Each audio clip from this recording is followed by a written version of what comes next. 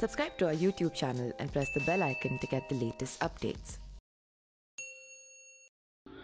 नमस्कार, मेरा नाम पिंटू सिंह यादव है और आप देखना शुरू कर चुके हैं न्यूज़ लाइव दोस्तों, उत्तर प्रदेश की बांदा जेल में बंद बाहुबली माफिया मुख्तार अंसारी इन दिनों अपने बेटे और बहू से बात करने के लिए तड़प रहे हैं इसी को लेकर वीडियो कॉन्फ्रेंसिंग के माध्यम से सुनवाई के दौरान मुख्तार अंसारी ने कोर्ट में गुहार लगाई है और उनकी इलेक्ट्रॉनिक्स इंस्ट्रूमेंट्स के माध्यम से अलग अलग जेल में बंद बेटे और बहू से बात कराई जाए। उसने कहा है कि जब से दोनों जेल में बंद हैं, उन तीनों की आपस में बातचीत या मुलाकात नहीं हो सकी है। वह काफ़ी परेशान है, इसलिए बातचीत की व्यवस्था करवा दीजिए। मुख्तार अंसारी ने बताया कि जेल में ईडी ने भी छापेमारी की है।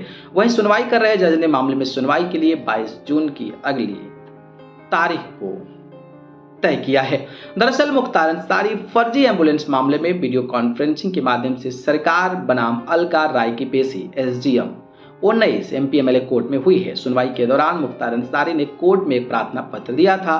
प्रार्थना पत्र के माध्यम से मुख्तार अंसारी ने कोर्ट से गुहार लगाई कि उनकी बहू निकाहत अंसारी चित्रकूट जेल में बंद हैं, जबकि उनका बेटा अब्बास अंसारी कासगंज जेल में बंद है। मुख्तार अंसारी ने कहा कि दोनों अलग अलग जेलों में बंद हैं, जिसके चलते उनकी बातचीत नहीं हो पा रही है। ऐसे में जेल मैनुअल छह सौ अड़तालीस के अनुसार इलेक्ट्रॉनिक्स इंस्ट्रूमेंट्स के माध्यम से बेटे और बहू से उसकी बात कराई जाए। वही बात करें तो ईडी की छापेमारी से भी मुख्तार अंसारी लगातार परेशान हैं। इसके अलावा बांदा जेल में आज पुलिस ने सीआरपीसी की धारा 161 के तहत मुख्तार अंसारी का बयान दर्ज किया गया। यह बयान उस मामले में दर्ज हुआ जिसमें डीएम और एसपी ने जेल में छापेमारी के दौरान मुख्तार अंसारी के पास से सामान जब्त किया और मुकदमा दर्ज कराया गया था। मुख्तार अंसारी ने बताया कि जेल में ईडी भी आई थी और उसने भी जाँच की है। ईडी ने छापेमारी के साथ मुख्तार अंसारी से पूछताछ की है। मुख्तार अंसारी के वकील रणधीर सिंह सुमन ने बताया कि अब इस मामले में बाईस जून की तारीख आरोपों को विचलित करने के लिए तय की गई है। तो एक बड़ा अपडेट था मुख्तार अंसारी को, जिस तरीके से लगातार सजा हो रही है।